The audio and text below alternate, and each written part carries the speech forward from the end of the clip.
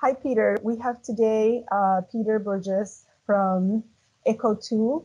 Uh, ECHO2 is our first biochar supplier from Australia. We're very happy uh, to have him here. Uh, we know that everyone wants to know about our suppliers. They are the ones that are removing carbon from the atmosphere. And so they have the interesting uh, part in Puro Earth. Peter, can you tell us a little bit about ECHO2 and uh, how are you removing carbon from the atmosphere? And what is your concept? The thing that got us started was the very large amounts of biomass that's wasted in Australia. Um, we grow a lot of grain crops in Australia and we also grow a lot of tree crops. And so each year there's several million tonnes of, of the straw that's left after the, the grain is harvested um, and, and timber that's left after the forestry plantation is harvested and is piled up and burned basically. And so all of those low, what would be called low value residues, our ambition was to turn that into bioenergy that can be used for heat or electricity um, and perhaps hydrogen, hydrogen production um, and, and biochar. Biochar is a um, very stable form of charcoal that can be used for many purposes. Um, it, it's, it's used in farming and horticulture to, to, um, to keep nutrients in the soil, um, to reduce the use of uh, artificial fertilizers, and also to drought proof the, the soils, which is very important in a country like Australia that is very short of rainfall. We started in 2007 and it took us until 2018 when we built our first commercial plant, which is the one that is featured on the Puro website. And then we met Puro in Helsinki in 2019 and realized that this this method of um, somehow valuing the CO2 that is locked up in the in the biochar, where it's locked up for perhaps thousands of years. We know it's locked up for hundreds of years, there's, there's evidence from South American charcoal that, or biochar that was made by the Amerindians um, before the conquistadors arrived, that that perhaps the carbon, most of the carbon, will last in the soil for thousands of years. So when when Puro came along with this idea of putting a value on the CO2 um, and and finding companies and maybe even countries that are interested in becoming carbon net zero, we thought this is a way that will accelerate what we're doing. So we've got this first commercial plant operating now, and anyone who's watching this website, if you want to come and see it in South Australia, it's it's open to the public um, for people to see.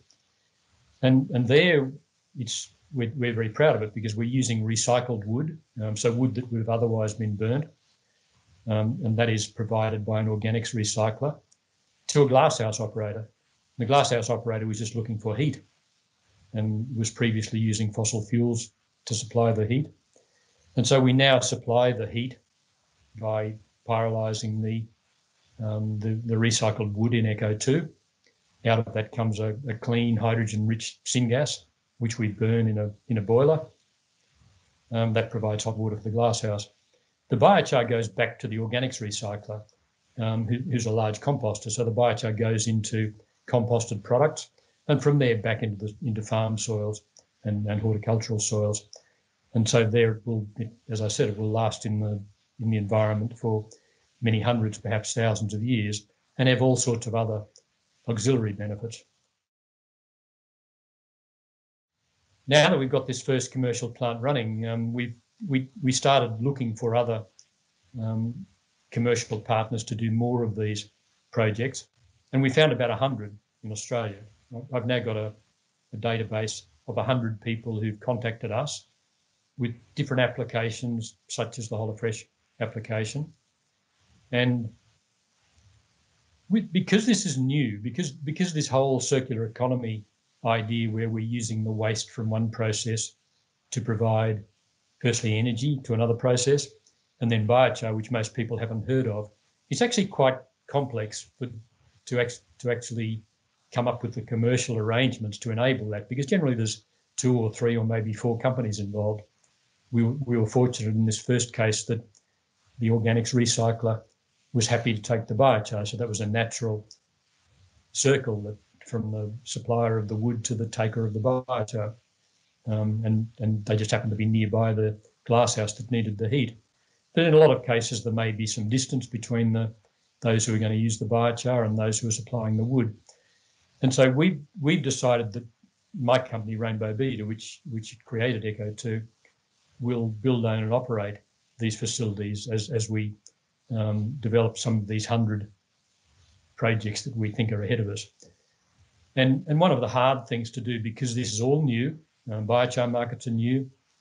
Um, the idea of using these these low value biomass residues is also new. Pe- people are just used to burning them, so it it takes a lot of effort. Um, it takes a lot of commercial effort. Banks are not willing yet to lend money for those sort of projects, and so to have the ability now to talk to buyers of CORCs, bureaus, credits, for our future projects will help those those projects happen quicker. And I think it'll help them happen years quicker. So, so for us, we're very excited about the relationship with Puro and the fact that you've created this market. Um, we'll, we'll put some of these projects up on the website so that um, people can look at them. Um, and then if people have got questions of us, we're very happy to answer them. Thank you, Peter. That was, I think that that was a very uh, good summary of what ECHO2 is doing. It seems so interesting to me, especially the concept of the circular economy, um, plus the carbon sequestration here. You know, taking waste from uh, agricultural um, crop, um, you know, recycled wood, all of that, and then producing renewable energy to heat a glass house uh, it seems it's it really really seems so great. I can see it all running, and uh, and then having the biochar, which is sequestering the CO2 permanently, and then that being put in the soil. So it's a whole cycle, um, and uh, yeah, and so customers who buy the carbon renewable certificates, the CORCs, you know, are part of that whole cycle as well. Of course, they are buying the tons of CO2 to neutralize their emissions. But it's really great to see that uh, the CORC is actually enabling a lot of things uh, as well. Because this is new, um, it, it's not a problem of the thing won't make money. The, you know, the first project is making money for the owner. Um, it, all of these projects that we've looked at, and I said there's a hundred. There are literally a hundred now. Um, to us, they all look like they will make money. And the hard thing is to get started. With the first one, we found someone who's crazy like us, who owns Holla-Fresh, who is prepared to take a very big risk on a new technology. And so, and so Ian Stanley and I, we, we all put some money into it. We got this first one running. And, when, and then when we look around for other companies that might buy the energy or buy the biochar or buy the or supply the wood, they're generally different companies and they don't want to do all of those things. And so they would rather we came along with several million dollars and built the plant and then just sold the energy or bought the wood or sold the biochar. So that's our role. So we're now we've gone from being a technology provider to being a solutions provider. What we then do next is fine, we find someone to supply wood, take the biochar and so on. We say, will you sign a contract with us? Yes, yes, we've got some of those now. Generally, those companies are small companies. So some of them are not bankable companies, they're new companies that have just been set up to do this.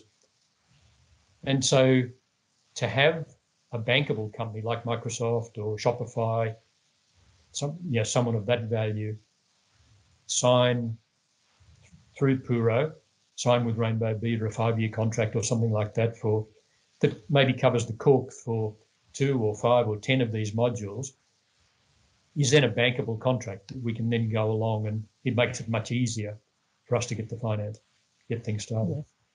And then and then the the the price we will charge for the CORCs will be, you know, some number to start with. You know, at the moment at the moment the, the numbers are high. They, they surprise me. um, in time they have to come down. And so if we can get these forward contracts, it will help us bring down the cost of supplying those CORCs. These are quite difficult things to finance because all of these um, cost and revenue streams are new ideas.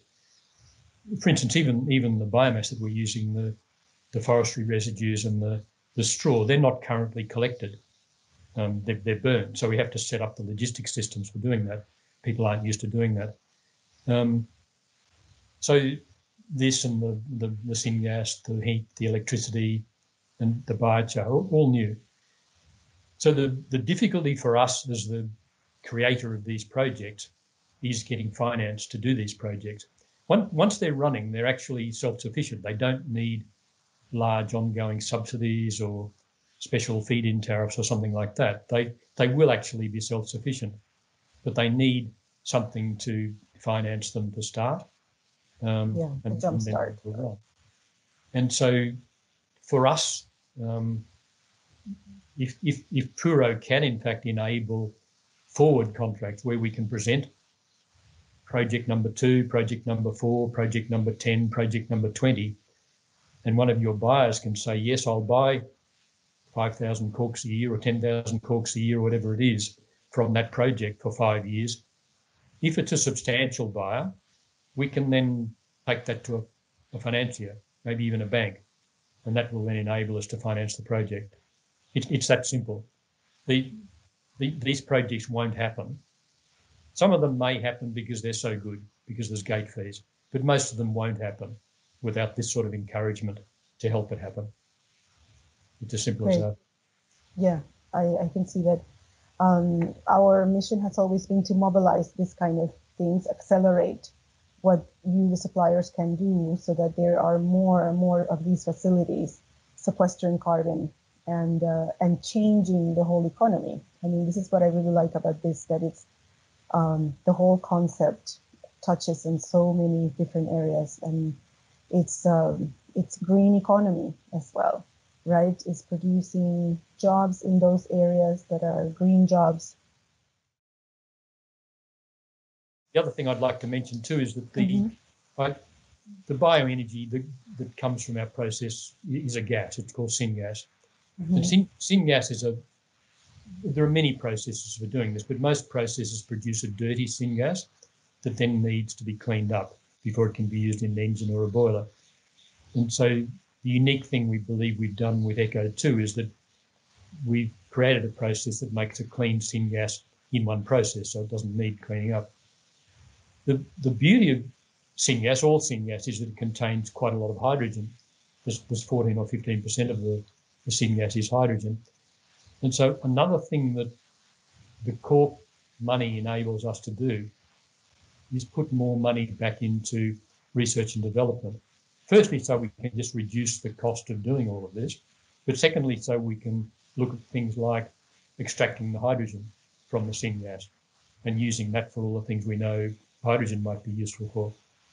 Um, so I, I, think this isn't the end of the, the circular economy story. It's the start of the circular economy story where we're realizing all these wonderful gifts that nature's given us and we've just been, you know, burning and perhaps landfilling for thousands of years, that we can now start to put people back into rural areas and jobs in rural areas and schools in rural areas, um, which is, I don't know in Finland whether it's been a problem, but in Australia it's been a very large problem that a lot of our regional towns have been depopulated over the last 20 or 50 years because all the jobs are in the cities, farm machineries have got bigger, um, and, and so these sort of industries don't exist we, we one, this is one of the things that drove Ian Stanley and I, the co-founder of Rainbow Bee, to, to create Echo, to, to enable these sort of um, small industries to exist in regional communities. So we're passionate about it and thanks for helping us.